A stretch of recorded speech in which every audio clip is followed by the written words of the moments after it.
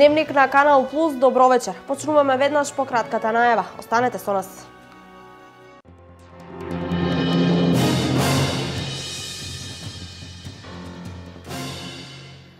СДСМ нека излезе на избори ако не се плаши од народот. Истакна денес во своето обраќање председателот на ВМРО да ДПМН Никола Груевски.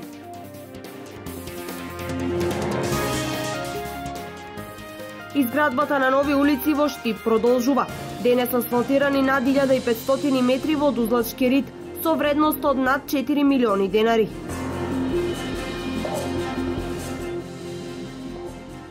Со пуштањето на водата од Калиманци во Ризарско поле и официјално започна годинешнава сезона за наводнување на околу 5000 хектари земјоделска површина во овој регион.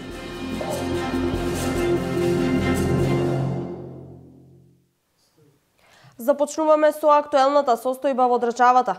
Целта на мојот потек е помирување помеѓу македонците, изјави председателот Ѓорѓе Иванов на заедничкото интервју со уредниците на домашните телевизии, на која одговараше на прашања поврзани со неговата одлука, со која се прекинати сите судски постапки против политичари и нивни соработници. Целта на ова е помирување меѓу македонците и не смееме да дозволиме еден на друг да кренеме рака. Хулигани има секогаш и во секое општество. Специјалното обвинителство е злоупотребено во овој предизборен период, бидејќи специјалното јавно обвинителство е институција за долг рок, а не на краток, посочи председателот Иванов.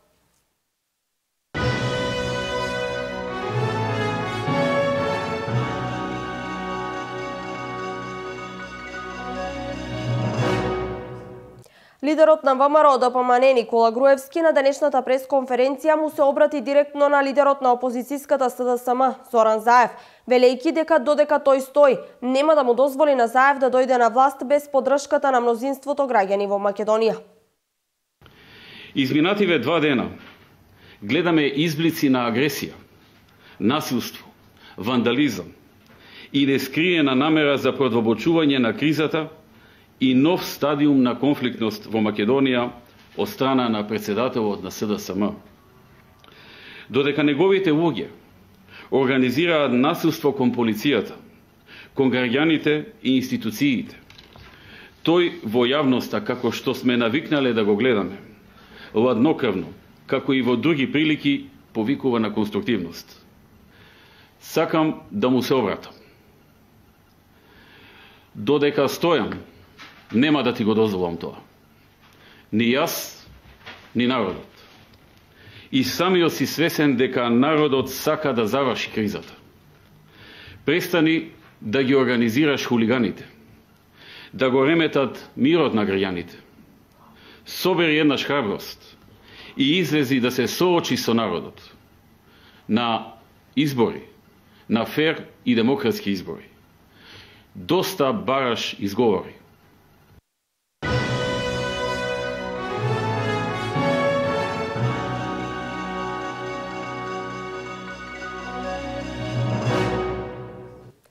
Продолжуваме со настаните од регионот.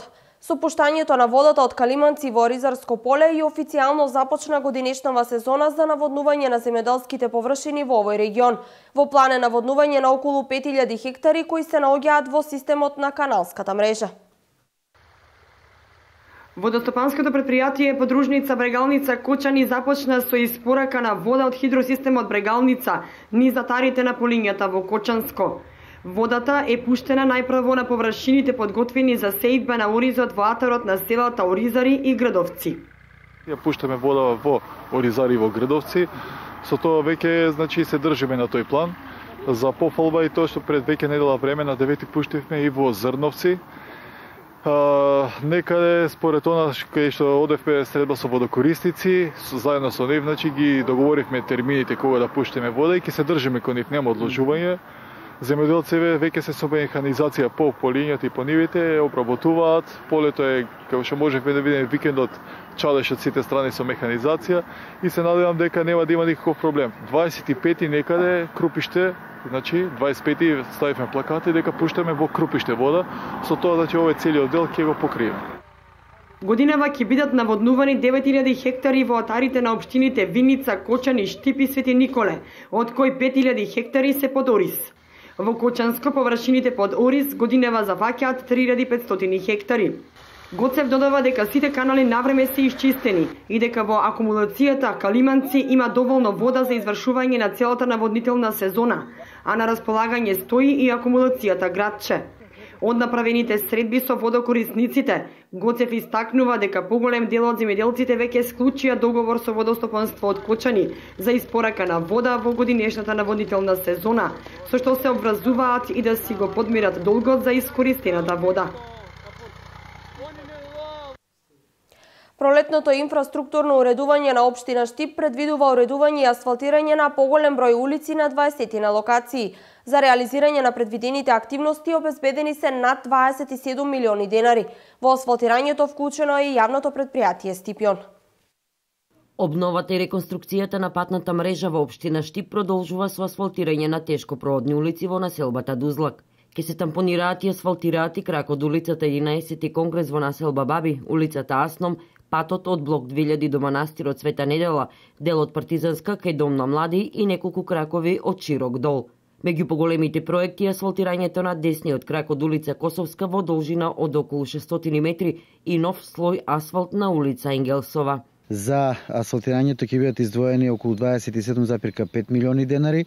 Станува збор за асфалтирање, тампонирање, обнова, реконструкција и првично асфалтирање на околу 15 локации низ градот. Најниската цена на чинење за асфалтирање на улица во Мерите, која што е некаде околу 480.000 денари, додека најскапата е на локација Дузлачки рид. Станува збор за повеќе мали улици во должина од околу 1,7 км и со цена на чинење од околу 4 милиони денари. Во спомнатата сума предвидени се асфалтирање на улици во приградските населби и селата во општина Штип, и тоа во село Долани, Суво Грло, Караорман, Селце, Чардаклија, Долна Балканска и село Врсаково. Ке се тампонира и подготвува асфалтирање на пристапен пат во местото Каленица, а во текси тендерските постапки за улиците и во Лола Рибар, вториот дел од Вита Попјорданова и Вардарска, дел од Борис Крагер до спортската сала Јордан Мијалков и за конструкција на велосипедската и пешачка патека до Караорман. Кон сите овие активности, осем фирмите кои добиле на распишаните тендери, вклучено и јавното предпријатие Стипион, чии работници ќе работат на нивелирање на нивото на шахтите на улиците кои ќе се асфалтираат. Освен ова, од Стипион ги реализираат и активностите предвидени со планот и програмата на предпријатието. Утрешниот ден веќе работиме на улицата Питугули и односно Косовска. Завршивме со а, постувањето на, на цевки на одводниот канал кој што од пругата во должина 150 метри према патот за Чардаклија. Исто така се работи на расчистување на атмосферските канали. Уште една од активностите на јавното предпријатие Стипион е уредување на коритото на река Отиња, каде во текот на утрешниот ден ќе се постави пешачкиот мост во близина на театарот. Со низ за настани одбележан 55 годишниот љубилеј на Делчевската гимназија Методија Митевски Брицо. Јубилеј прославува Средното општинско училиште Методи Митевски Брицо во Делчево, 55 години од своето постоење. Тридневни активности организираат учениците и наставниците во манифестацијата денови посветени на својот патрон Методи Митевски Брицо. Одбележувањето започна со ликовен хепенинг во дворот на училиштето. Организиравме разни активности, како што и денес ликовниот хепенинг. Многу талентирани ученици се ангажираа за тоа, секако со помош на професорот. На овој хепенинг учениците имаат слободни активности по желба. Цртежите ќе бидат изложени во просториите на училиштето. Во спортските надпревари покрај учениците се вклучуваат и родителите. Ке се играат ракомет утакмици, ке се играат надпревари во фудбал, и имаме една активност во која што се вклучуваат и родителите, и професорите, и децата, која што а, на некој начин е активност поврзана со борба против пороците, да им покажеме на младите како треба да со спорт да ги потикнеме да се борат против пороците. И наредните два дена училиштето ќе ги посвети на чествување на својот патрон. Имаме литературно-музичка приредба а, во која што учество ќе земат наши ученици, ученици од училиштето од Гостивар. Тоа е училиште кое што со кое што ние имаме подпишано партнерство. Очекуваме и гости од а, а, Република Бугарија. Тоа се гости кои што со кој што имаме соработка од седмото средно општинско училиште Кузма Шапкарев и завршуваме со еден така посвечен коктел за сите наши гости поканети. Оваа година училиштето реализираше неколку крупни проекти, меѓу кои доградба на шест нови училници и воведување на едносменско работење. Над 100 нови контейнери ИСАР ќе постави на повеќе локации во Штип. За оваа намена јавното предпријатие издвои над 700.000 денари. 100 контейнери денес пристигнаа во кругот на јавното предпријатие ИСАР, кои ќе бидат дистрибуирани на повеќе места во градот. Се реализираше, набавивме 100 канти, односно 100 контейнери за фрлење на смет од 1,1 метри кубни, Па, Проценатната вредност беше 1 милион и 500 000 денари, ни падна тендерот на 730 000 денари, што значи дека за 7300 денари имаме еден континер. 100 континери се наброи, ќе бидат поставени ширум целиот град, а со самото тоа а, ќе добиеме почист град, ќе добиеме повеќе континери за фрлање на отпад, а, старите дотрајани континери кои што ги имаме низ градот ќе бидат заменети со нови континери, со овие сега што ги добивме, а се надевам дека граѓаните ќе како наш партнер ќе ги прифатат континерите и ќе ги фрлат своето ѓубре ќе го фрлат во самиот континери, а нема да го фрлат до до нив. Освен контейнерите, Бојаджиев најави дека во теке распишување на тендер за набавка и на 800 канти за домаќинства. Од кои 400 граѓаните ќе може да си купат на град Штип на 12 рати, додека другите другот другата канта ќе биде гратис, ќе бидат во две бои.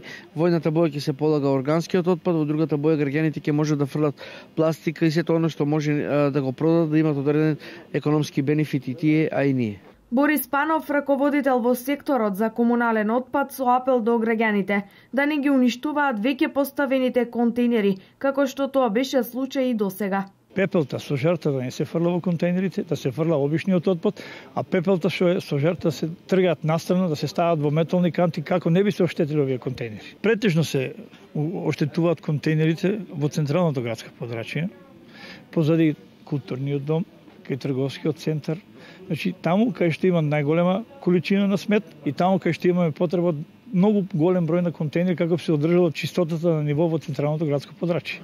Инаку до сега јавното предпријатие ИСАР претрапе 10.000 евра штета од страна на несовесните граѓани кои ги уништувале поставените континери во централното градско подрачје и околните населби. Само во зимниот период до сега биле запалени над 40 континери.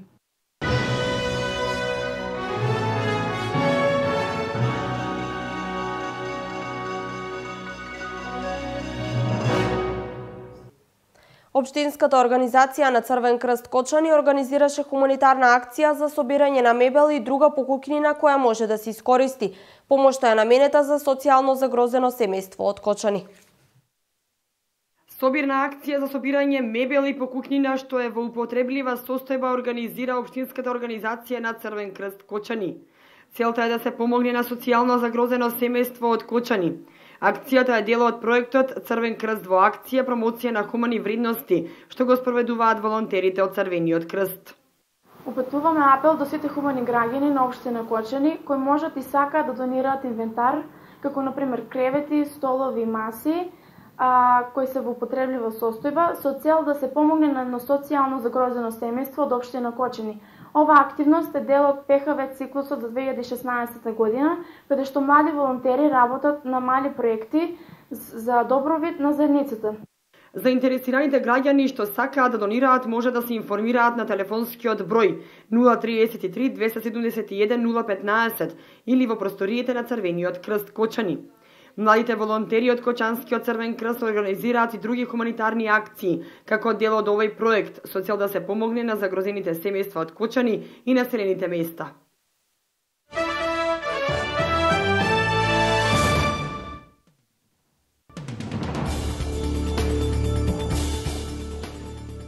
Панамските власти конфискуваа десетици фајлови од седиштето на адвокатската фирма Мосак Фонеска, која е во центарот на скандалот со истекувањето на така наречените панамски документи. Панамските власти не извршија апсења, а во акцијата беа барани докази за незаконски активности на компанијата. Истекувањето на документите од панамската компанија предизвика гнев кај јавноста поради можноста која богатите и влијателни луѓе во светот ја имаат за да кријат пари и да избегнуваат плаќање даноци. Маргинализацијата на ромското малцинство и јавната нетрпеливост кон него и натаму е голем проблем во областа на човековите права во Бугарија. Се наведува во делот за Бугарија во извештајот на Стейт Департментот на САД за состојбата на човековите права во светот за 2015 година. Континуираното влушување на медиумската средина и зголемувањето на корпоративната и политичката зависност на медиумите исто така беа проблематични минатата година, се вели во ова сообштение. Во анкета спроведена меѓу 1081 лице од социолошката агенција ИЦМ во Велика Британија, 52% од муслиманите во оваа земја сметаат дека хомосексуалноста треба да е забранета, а 56% се за забрана на хомосексуалните бракови. Во исто време, според друга анкета спроведена меѓу целото население на земјата, само 22% мислат на овој начин. 39% од анкетираните 1081 велат дека жените секојаш треба да се почитуваат, 31% сметаат дека британските мажи и муслимани може да имаат повеќе од една жена, а 23% се за примена на шеријатот.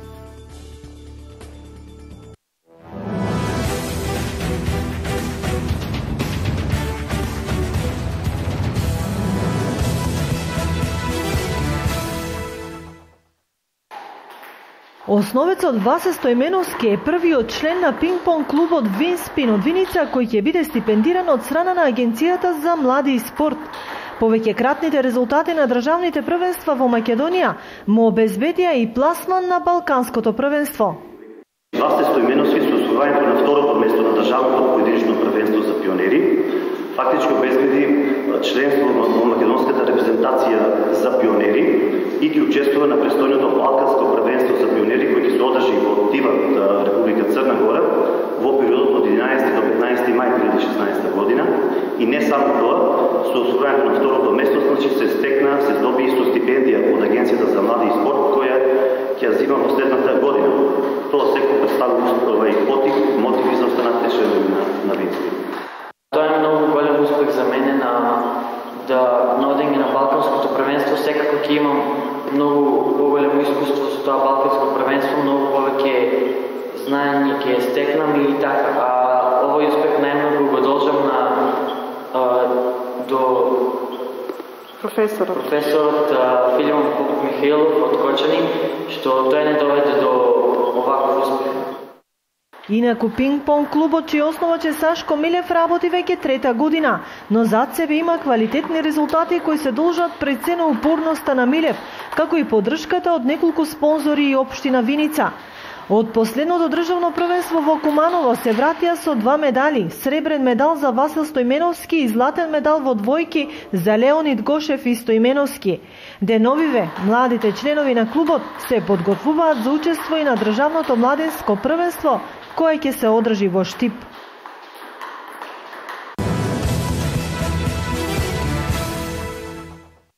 Откако пред два месеци подпиша договор за соработка со ракометната школа на Металург, училишниот спортски клуб Дедо Илјо Малешевски од Берово ги бележи првите поголеми успеси. Ракометарите од овој клуб со успех го завршија својот настап на зонските надпревари, каде потоа на државниот надпревар во ракомет се закитија со второто место. Подпишавме договор за соработка преку Металург, што значи дека ние веќе сме школа на Металург, учениците имаат можност да спортуваат, да се рекреа рекреираат и тоа е одлична можност за понатаму за нивната кариера. До сега се одиграа повеќе надпревари на општинско, регионално и зонските надпревари, но можам да спомнам дека оваа година училиштето го постигна најголемиот успех или поточно второ место државен надпревар во селекција на пионери. Во ракометната школа на Металург се вклучени ученици од 7 градови во Македонија, а првиот турнир во Берово на кој преку Лигата на школи на оваа екипа учествуваа 4 машки и 4 женски екипи се одржа на 20 февруари оваа година. Инаку преку програмските активности на општина Берово, предвидени во работењето на општинското основно училиште Дедуљо Малешевски, неодамна заврши и проектот за реконструкција на спортските терени, кој се наоѓа веднаш до училишната зграда во Берово. Овој проект се реализираше во неколку фази, а опфати реконструкција на спортскиот терен со поставување на нов асфалтен слој на површина од 1050 квадратни метри, поставување на заштитна ограда и осветлување на самиот терен. Средствата за реализација на овој проект беа обезбедени преку буџетот на општина Берово и наменски дотации од Министерството toto zobrazovanie je náuka.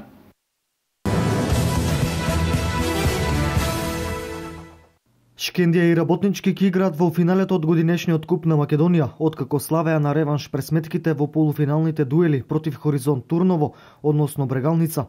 Работнички кои ќе ја брака својата пета или Шкендија која ќе се обиде за прв пат да го освои купот на Македонија во фудбал, се двете екипи кои стигнаа до завршницата на најмасовното фудбалско надпреварување кај нас. На Филип II, Работнички славеше со 3 спрема 0 против Брегалница, односно со вкупни 4 спрема 1, стигна до своето трето едно подруго финал финале во најмасовното домашно клубско надпреварување. Маријан Алти Пармаковски беше стрелец на првите два гола во 21-та минута и во 59-та минута, а во 85-та минута погоди и Елиф Елмас за конечни 3 према 0. На дуелот во Тетово, Шкендија и повторпа дојде до триумф против Хоризонт, овој пат со 2 спрема 1. Во Купот на Македонија, ако работнички ја освои титулата, ќе се израмни на вечната листа со Вардар, кој има пет титули во ова надпреварување.